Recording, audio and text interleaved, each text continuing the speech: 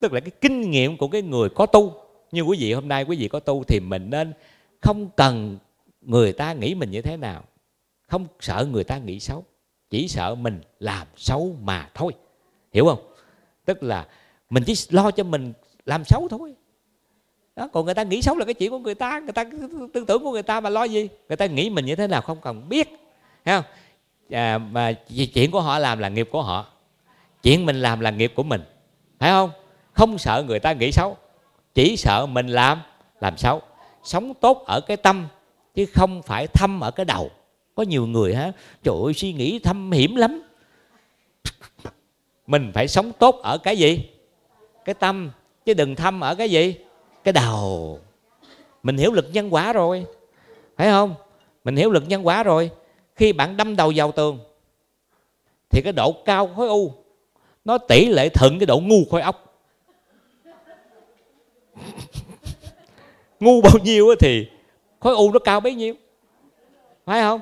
Đúng không nè? Đúng cho chàng vỗ tài à, thì cái tên cướp già dạng kinh nghiệm mới quát cho tên cướp trẻ tuổi rằng là mày ngu quá cần chi phải điếm.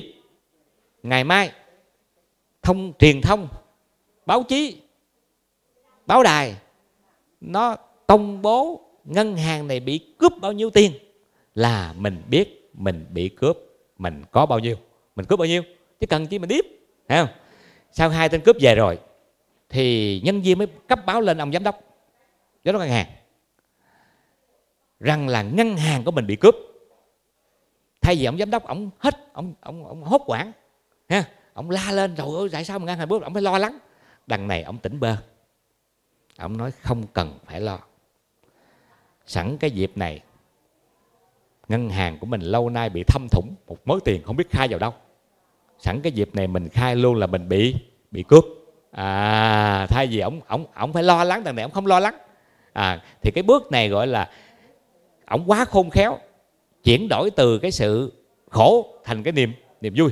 Thì cái người tu chúng ta cũng phải khéo chuyển đổi cái hoàn cảnh khổ thành cái hoàn cảnh vui để mà tu, gian nan thử sức, ha tức là những cái khó khăn để chúng ta dựa vào đó mà mình mình tu.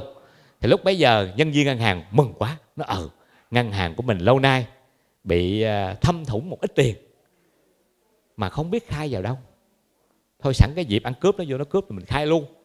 À thì qua ngày hôm sau, truyền thông mới báo lên rằng là ngân hàng bị cướp năm năm tỷ. Thì hai tên cướp này về nhà điếm được có 2 tỷ mà mấy người kia nói mất 5 tỷ.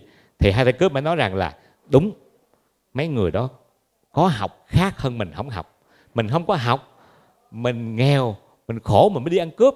Mình có thể bỏ mạng, mình có thể đánh đổi với tù tội. Đánh đổi với bao nhiêu là nguy hiểm. Mà mình cướp được có hai hai tỷ.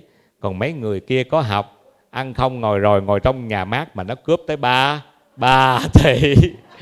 Hiểu câu chuyện không? Đó. Nó ý là như vậy. Cho nên bây giờ chúng tôi xin mượn câu chuyện này để nói rằng người tu chúng ta phải theo cái ý nghĩa của người tu á, chứ không phải nói theo cái nghĩa đời mình nói theo cái ý của người tu. Thế cái ông giám đốc này, ông chuyển đổi hoàn cảnh, bị cướp, đau khổ thành cái niềm niềm vui. Thì mình cũng vậy, người tu thì khi gặp nghịch nghịch cảnh, khó khăn, đau khổ thì mình phải chuyển nó qua một cái niềm niềm vui à, khi gặp nghịch cảnh người tu mình không có sợ. Ta nói à, muốn thành không muốn thành công phải qua nhiều thất bại. Trên đường đời có giải mới có khôn. Đem đau thương để tôi luyện tâm hồn. Một lần ngã để bao lần vững bước. Dẫn tay lái cho thiền con vượt biển. Chắc tay cương cho ngựa nhỏ băng ngàn. Qua khó khăn với khổ ải lầm than ta tin tưởng một ngày mai tươi sáng. Ai chiến thắng mà không hề chiến bại, ai nên khôn mà chẳng dạy đôi lần. Cho nên, cái người tu mình á, không có sợ khó khăn. Bởi vì á, không gian khổ lấy gì làm chất liệu? Không buồn vui sao hiểu chuyện con người? Nếu không có đau khổ thì mình đâu có chịu chịu tu. Cho nên bây giờ mình mượn cái nghịch cảnh cái nghiệp của mình để mà mình lo mình tu.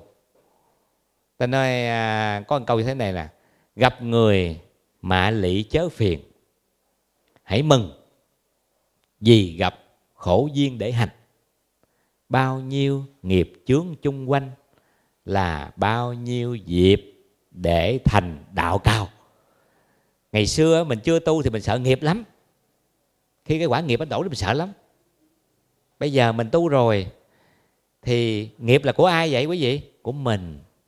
Phải không nè? Mình mâu thuẫn dữ lắm. Mâu thuẫn là sao?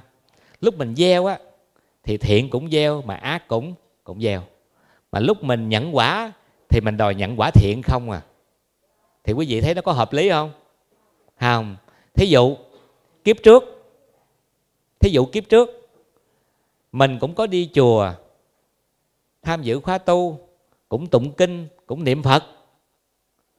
Nhưng mà lâu lâu mình cũng khùng lên, giận lên, mình chửi người này, chửi người nọ. Nhưng mà kiếp này sanh ra đòi hưởng cái phước tụng kinh không à? Có không? Không được. Tức là hãy nghiệp thiện nó cho ra quả quả thiện. Mà nghiệp ác cho ra quả quả khổ. Nghiệp là của của mình. Ta sanh ra đời là để trả nghiệp. Nghiệp nào cũng là của mình hết chứ đâu phải của các bà kế bên đâu mà sợ. Đúng không? Mà tại sao lúc mà lãnh thiện nghiệp thì mình vui? Mà lãnh ác nghiệp thì mình mình buồn. Đó là mình thấy cái mâu thuẫn phi lý. Cho nên bây giờ đối chúng ta, nghiệp nào đến mình cũng giang tay ra, đón nhận. Ta sanh ra đời là để trả nghiệp. Sao nhiều người lại cứ thở với than, lại quán trách sao cuộc sống quá phủ phàng? Tội gì đâu mà cứ đài con mãi đã là người am hiểu lời phật dạy. Hãy chấp nhận với cuộc sống hôm nay. Khi nghiệp đến thì vẫn cứ gian tay, vui vẻ nhận vì nghiệp ta phải trả. Nghiệp nào mình cũng nhận hết. Nghiệp ác thì cũng nhận, mà nghiệp thiện cũng cũng nhận. Bởi vì nghiệp là của ai? Của ai? Của mình. Quý vị nhớ nghe, mình là chủ nhân của của nghiệp. Nghiệp là thai tạng, nghiệp là quyến thuộc, nghiệp là chỗ y cứ của mình. Chứ mình không có lãnh nghiệp của người người khác. Cho nên, giữa cái đau khổ mà nhận và cái vui vẻ mà nhận, thì quý vị chọn cái nào? Chọn cái nào? Thường thì mình hay đau khổ mình nhận, cũng phải nhận vậy chứ đâu tránh khỏi. Phải không nè? Thì mình vui vẻ mình nhận thì nó sẽ nhẹ nhàng hơn còn đau khổ nhận thì cái khổ nó sẽ nhiều nhiều hơn. Người ta nói à, buồn cũng sống mà vui cũng sống mà không vui không buồn cũng sống. Như vậy thôi mình chọn cái cái vui mà sống thì nó hay hơn là chọn buồn để mà mà sống. Cái ý nó như vậy. Vì vậy hôm nay à, à, chúng tôi sẽ gửi đến quý vị một cái à, bài pháp. Có tựa đề là làm cái cần. Cần gì? Cần làm. Tránh cái cần gì? Cần tránh. Giữ tâm lúc nào cũng an an lành. Nhớ mình à, tu không phải mình sợ khổ. Sợ khổ lấy gì tu? Nếu mình sướng quá thì sao? Mình đâu có tu được. Nếu mà ai mà sợ khổ quá không có tu. Tu không phải sợ khổ nếu mà sợ khổ lấy gì để tu? Thấy khổ tâm không động mới chính là công phu. Cái người tu mà thấy khổ mình không có động. Bây giờ chúng tôi xin hỏi quý vị nghe. Đức phật ngài có thấy khổ không? Có. Ngài sanh ở trần gian này lúc mà ngài thành phật ở trần gian này ngài cũng thấy cái khổ vui vậy. Nhưng mà ngài có bị động như mình không? Ngài có khe, ngài có thấy cái sự khen chê của thế gian không? Ngài có thấy được cái sự được mất của thế gian không? Có. Ngài có thấy được cái sự thạnh si của thế gian không? Có. Mà ngài có bị dao động như mình không?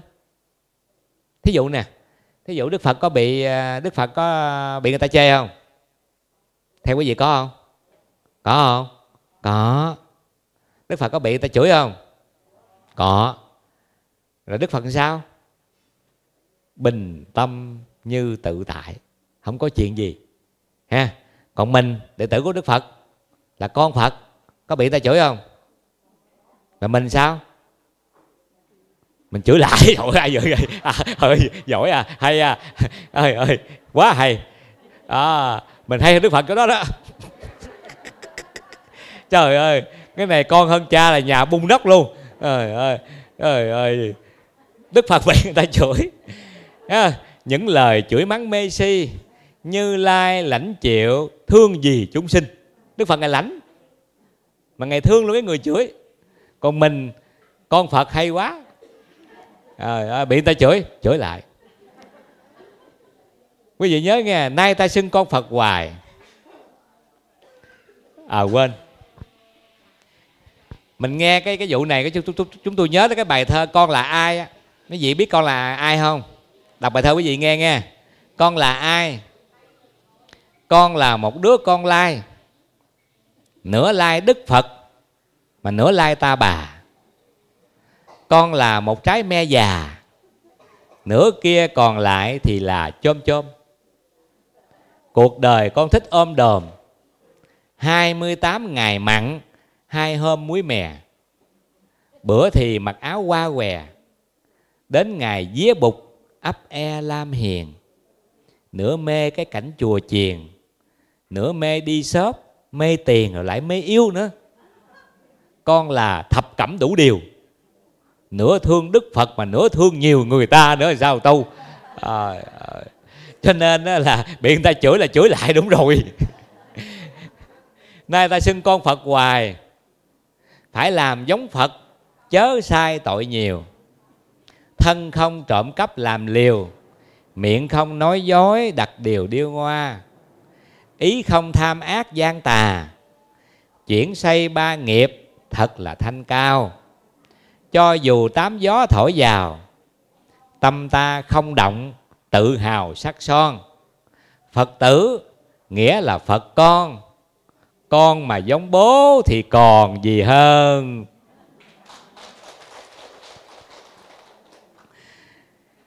Thì kính thưa quý vị, hôm nay à, chúng tôi giảng cái tôn chỉ của đạo phật qua hai cái từ là làm cái cần cần làm, tức là thực hiện các việc lành đó.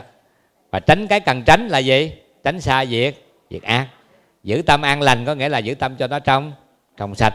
Làm cái gì cũng vậy, lúc nào cũng tâm mình nó trong trong sáng hôm nay học phật có vui không? Vui không nè?